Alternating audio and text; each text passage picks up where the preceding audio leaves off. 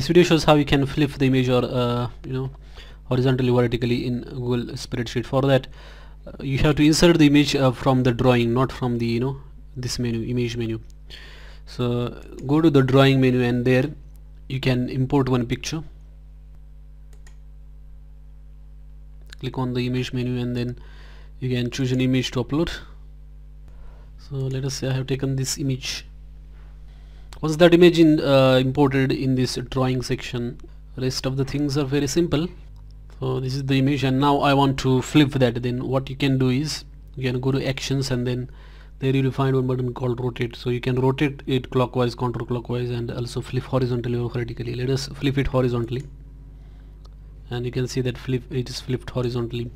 Similarly if you want to flip it vertically you can uh, like you know uh, that uh, flip that vertically that's how you can uh, flip the image. Once you are happy with the changes what you have to do is you have to click on this save and close button.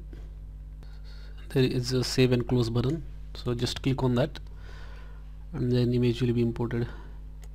That's how you can flip the image horizontally vertically in Google spreadsheet or uh, any other Google product. Thanks for watching this video